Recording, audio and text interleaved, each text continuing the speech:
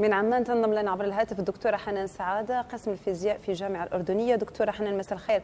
أهلا بك معنا المنتدى العالمي للعلوم في الأردن.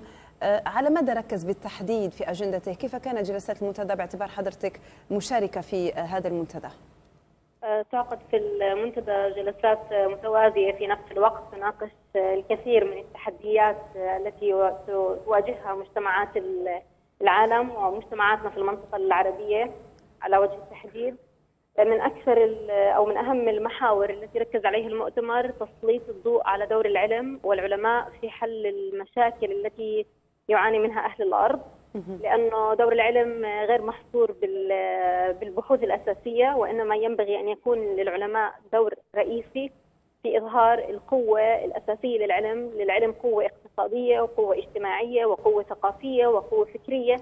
فينبغي أن تعطى الفرصة للعلماء ليقوموا بهذا الدور الريادي وهذا لا يكون إلا إذا كان هناك عمل مشترك ما بين أهل العلم العلماء وما بين أهل القرار والخبراء في المجالات الأخرى. لذلك كان التركيز على ضرورة وجود أرضية مشتركة يلتقي كل هؤلاء مع بعض ويناقش التحديات التي يواجهها العالم وكيف يمكن أن يساهم العلماء في تقديم أبحاثهم وخبراتهم لخدمة طيب. الإنسانية. دكتورة يعني ما بين الطاقة والتغير المناخي وإسهامات العلوم آه يعني كيف مجتمعة أو كل على حدة كيف يمكن أن يشتركون في نقطة واحدة آه في سبيل إحلال السلم الدولي العلم من أجل السلم المقصود بأنه إذا أعطي للعلم دور الريادي في أن يكون قوة على آه على وجه الأرض فإنه سوف يؤدي الدور الإيجابي إذا العلم نجح في حل مشكلة التلوث فهذا نوع من الأمن. إذا العلم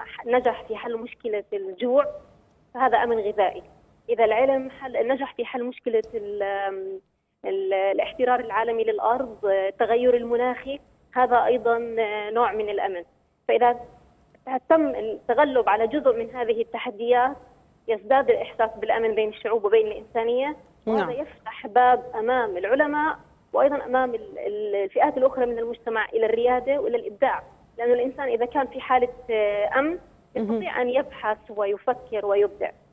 لذلك العلم هو أفضل وسيلة لتحقيق السلم لأنه فيها أمن غذائي، أمن وظيفي، أمن اجتماعي، أمن ثقافي، أمن فكري. نعم. طيب توقيت هذا المنتدى ومدى حاجة العالم فعلا في هذا التوقيت للتعاون من أجل العلم؟ حاليا الكرة الأرضية كلها تعاني من كثير من المشاكل التي استعصت حتى على السياسيين وصناع القرار حلها. عندما نرى الملايين الذين يموتون جوعا الملايين الذين يموتون بسبب الحرب الملايين الذين يموتون بسبب المرض. وفي المقابل لدينا الملايين من العلماء الذين يمضون حياتهم في المختبرات. لماذا لا نطبق ما توصل إليه علوم الفيزياء والكيمياء والهندسة والطب والصيدلة؟ في خدمه الإنسانية، العلم من المجتمع وينبغي أن يخدم المجتمع. طيب دعم البحث العلمي في كل دول العالم وخاصة دولنا العربية إلى أي مدى يعني ربما يتجه بهذا الاتجاه باتجاه إحلال السلم الدولي وباتجاه التعاون العلمي ما بين الدول في سبيل إحلال السلم الدولي؟ هي تتفاوت نسبة الدعم للبحث العلمي وللعلماء من دولة إلى أخرى لكن حقيقة لا يختلف عليها اثنان بأن دعم البحث العلمي في دول العالم الثالث وفي الدول العربية على وجه التحديد قليل مقارنة بالأهمية وبالدور الذي يتوقع من العلماء أن يقوموا به. لكن مع ذلك دولة صغيرة مثل الأردن في حجمها صغيرة في مواردها. في الأردن عندنا نقص مياه عندنا نقص طاقة.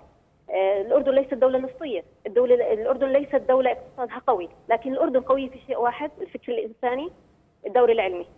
الأردن أبنائها متجهين نحو العلم وقيادتها متجهة نحو العلم. فلذلك خلينا نحكي التوقيت المناسب هو أن الأردن هي التي يعني تصدت لهذا الدور. وهذا مش غريب على على الأردن لأنه أهمية العلم والتعليم في الأردن هذا شيء بديهي يعني. نعم. شكرا جزيلا لك على هذه المداخلة معنا الدكتورة حنان سعادة قسم الفيزياء في الجامعة الأردنية. كنت معنا عبر الهاتف من عمان.